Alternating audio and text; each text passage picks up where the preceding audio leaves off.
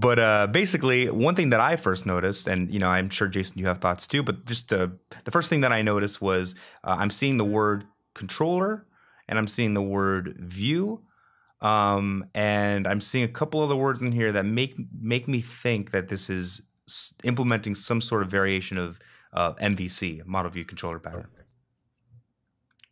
So that's just kind of the the first thing that we noticed here. Pull up my notes. And so, and that's fine. I mean, I, have talked before about there's actually a pinned comment in the Discord about people say, should I use MVC or how do I use MVC? And there's a bit of a rant there about the implications of that statement. Um, I won't get into whether you should or shouldn't and when you should or shouldn't. That's a whole different conversation. I will say, though, by definition, model view controller is three concerns.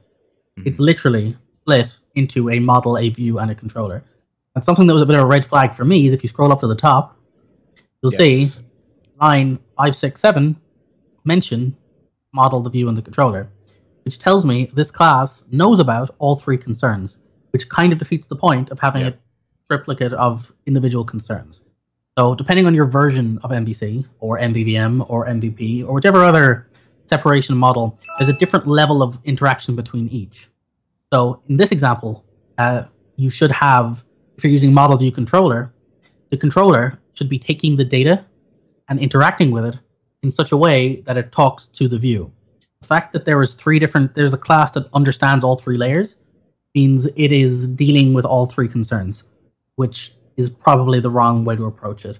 Um, this might be okay if it was a composer object of some kind that was sort of um, like a composition root, but as a game controller, it shouldn't be dealing with each individual concern.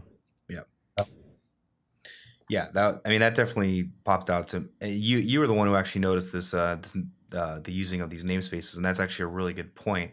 And uh, seems like an interesting, like maybe like a rule of thumb, like when you're scrolling through a code, especially one that's a class like this that's fairly large, you can kind of pop up to the top and kind of maybe catch some code smells like that. That being said, I do appreciate the use of individual namespaces. Yes, always that, a good idea to use namespaces and separate your things out. Yeah. It just, it just in a, in a case like this, um, it'd be one thing if an individual controller talked to the view and the data, but this seems to be composing multiple controllers and views, which means it's probably doing too much work knowing about all those different parts. Right. Right. Yeah, that's a good point though. The you know, we mentioned this earlier that we saw code that we really liked and we skipped over it, but it's good to, you know, it's good to look at the things we like. And yeah, namespacing is great because it does allow you to organize your code and uh, define your boundaries better. And it actually kind of produces code smells like this. when you start pulling in a lot of namespaces, you got to think to yourself, like, what am I doing here? Why am I pulling in so many uh, namespaces? Should this be should this be separated so much? Should I have some other class to handle all this? Um, so yeah, it's a good one. Speaking of namespaces, uh, personal thing I don't like. Yep. Yeah, each to their own. I'm not going to say this is a particularly big deal. Um, and there are reasons for it based on the Roslyn compiler. I don't want to go into stuff but it's not technically necessary. And anytime you write a using statement, you are literally saying this is a dependency this script has, and this code will function perfectly fine without that annotation and the the implicit header. That would be the used implicitly, which uh, yeah, I don't. This might be um, a resharper thing because I, you know, Rider's not gonna care. Rider's gonna know that this is a Unity function, so this might be something that came from uh, well, it's to avoid those warnings, right? Where it's like it's not being used, and you're going to get those messages to say this isn't being called anywhere. Yeah, uh, I understand why it's there. It's just I try to avoid having uh, dependencies where possible. So Definitely. it's annoying, but you can change the rules in Rider or ReSharper to basically ignore that. Mm-hmm. And it may seem like a bad idea to ignore an error, but when you're working with Unity, if that's the environment you're in, it's just a hazard of the job. I, I personally prefer to just have my code not warn me about that rather than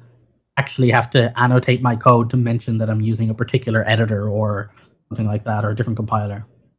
That said, we, we always say that, you know, if you're on a team and that team has particular uh, guidelines of how they want to work, you should always remain consistent.